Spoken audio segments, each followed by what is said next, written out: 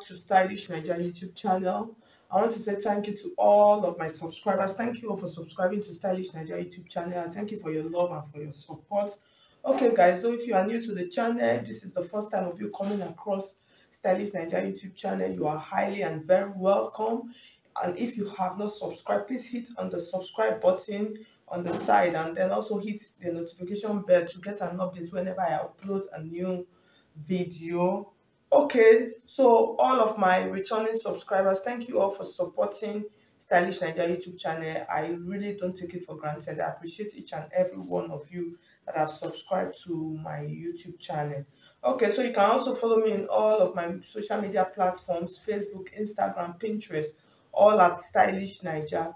If you want to register for our online classes you can see the number. Scrolling through the screen just send me a message on whatsapp and then I'll give you the details of the classes that we have available. So that is all of the information that we have to pass out before beginning our tutorial for today. Okay, so guys, in today's um, lesson, today's class, I'm going to be showing you how to cut a flounce. So you can see the picture up there. So flounce are something that once you know how to cut and sew a flounce, you can use it for any design of your choice. You can use them for sleeves, you can use them for your for your bodies, for the main parts of your bodies. You can use them on garments, you can use them on skirts. So you can actually use just knowing how to cut and sew a flounce. That's what matters.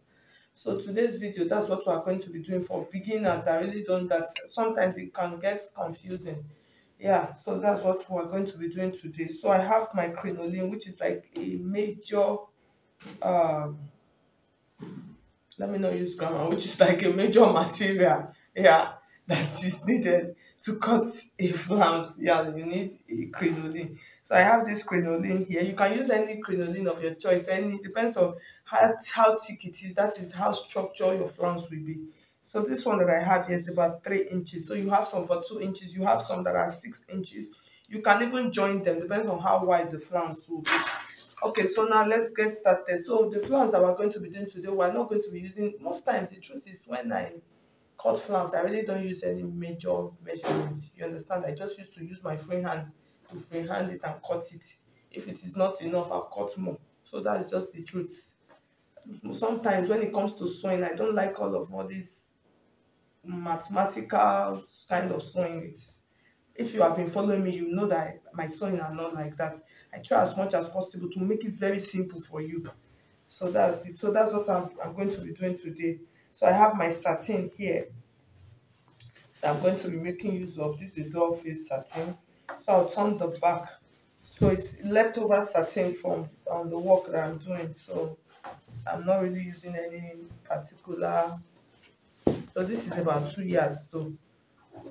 So i'm just going to go ahead i'll open it up like this. So depends on how wide i want my my flounce to be.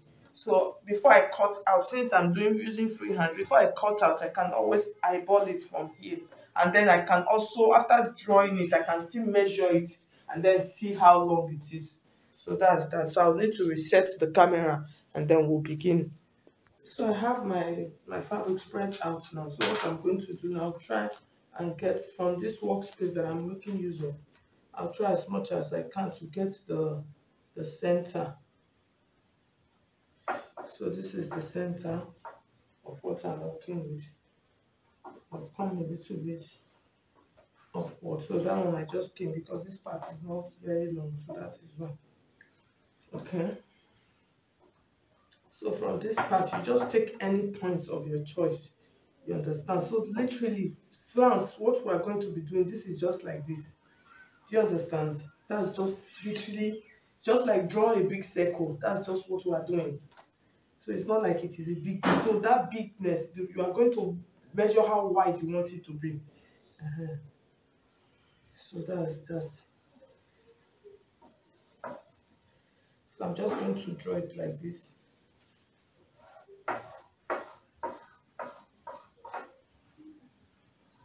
So from here now to this point, that is how wide your flounce is going to be.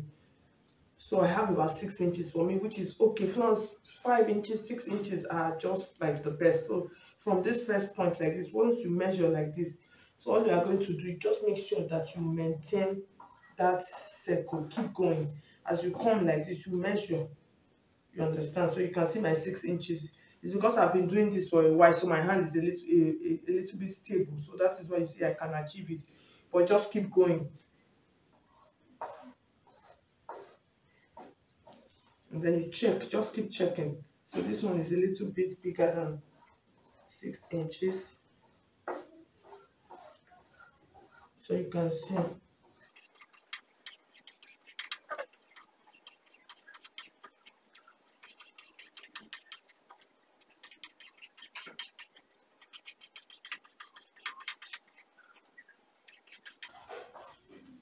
I think I have more than enough. So you can see how big it is. Let me check it. Hope you can see it. So you can see how big what I just made now is. So there's is a very simple way for you to check what you have. If you want to check the length of what you have, you're just going to take your tape like this and then you keep measuring around your flounce like this. So you measure around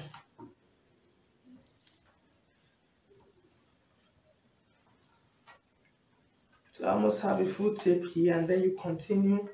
So if you feel it is too big, you don't need to cut up to that amount. So from here, you take the measurement of what you really want to, to get. So I can say I even have more than enough.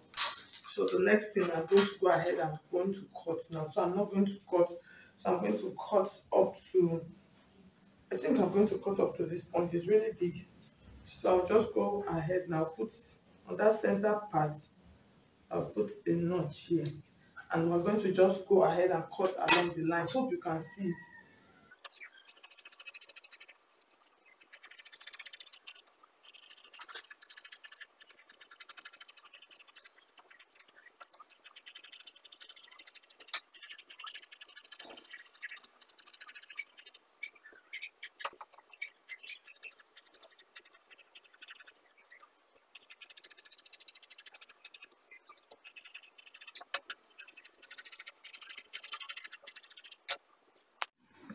okay guys so you can see i finished cutting it and it really looks beautiful.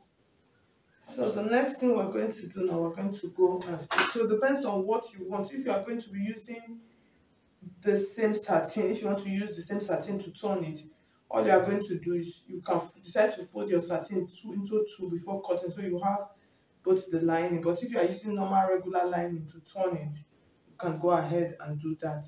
Just cut the same thing so now I'm just going to so you can see how really beautiful this spiral it is looking and it is very long.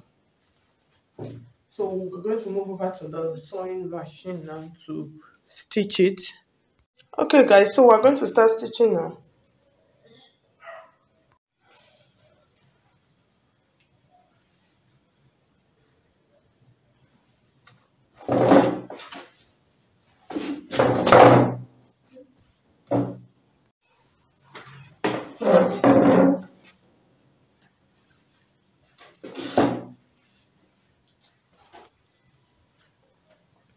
okay guys so we're going to start stitching now. So i have my my flounce here. So i'm going to take the lining and the fabrics. I'll place them like this together and then i'm going to take make sure that they are the same. And then i'll take my crinoline also. I'll place it here. So i'm going to make sure that i'm going to sew it round but I'm not going to I'm not going to pull as I sew. I'll just sew it easily.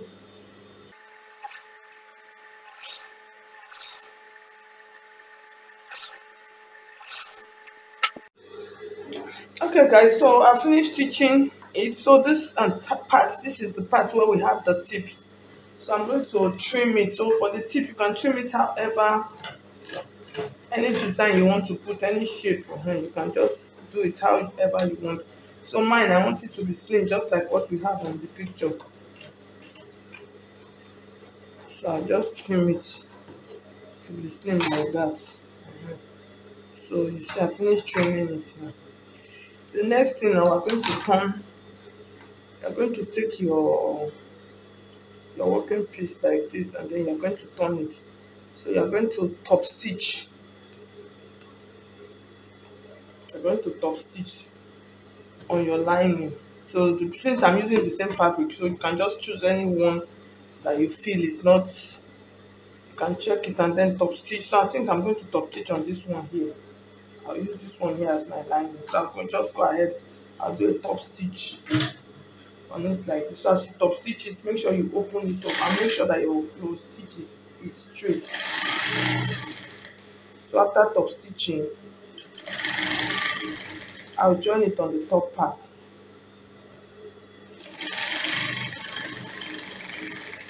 So you see how beautiful it is looking you understand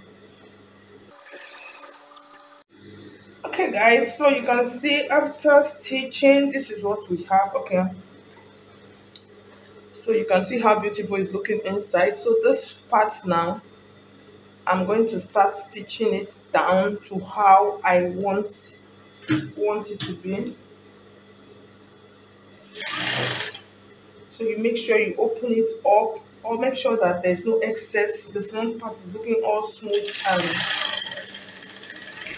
nice looking like this as you go along as you stitch along don't pull because of the crinoline inside. So you can see how beautiful. So when i'm done i'm going to trim it. And then you will see the final look of what we've got there.